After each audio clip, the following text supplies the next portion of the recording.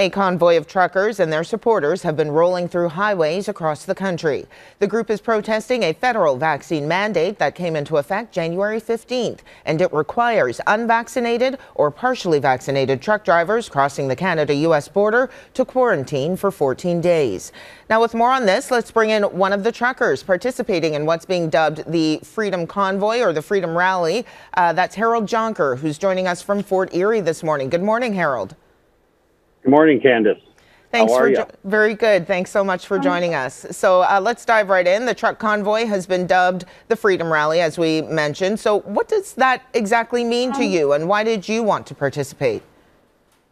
Um, I got involved with uh, organizing the uh, the Niagara area um, to, um, yeah, stand up for our freedoms. We've uh, over the last two years have been dealing with a, a pandem- pandemic and it's now um, been two years since they said two weeks to flatten the curve and i think uh, canadians are saying we need to um, move on we need to con- continue on in life and we need to um, yeah end all mandates for sure. So, Harold, we're hearing from politicians that 90% of truckers are vaccinated. So, I'm just curious as to how this directly affects you. How, how does this quarantine affect you?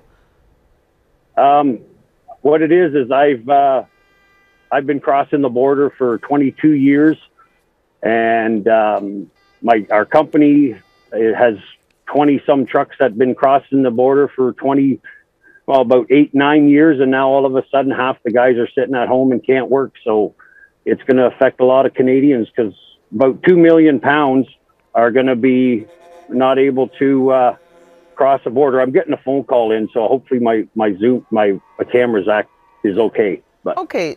So let me jump ahead then. While there has been a lot of support, we're seeing that in the B roll and all of this. This movement is gaining some negative attention as well, linked to hateful online rhetoric. Uh, so, what's your response to those concerned about extremists veering into dangerous territory and maybe kind of hijacking what it is you hope to accomplish?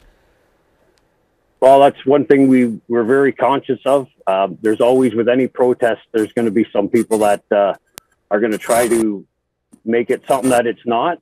And um, but yeah, we can't um, we can't uh, we can't control everybody, but we can control the message that's coming out. And, and the message is that we aren't, we are not a violent group of people. We're a group of people that are concerned. You got families that are supporting this. It's, it's unbelievable how much uh, support we're getting. And um, we didn't expect it to grow like this. I'm in Fort Erie and it's just unbelievable.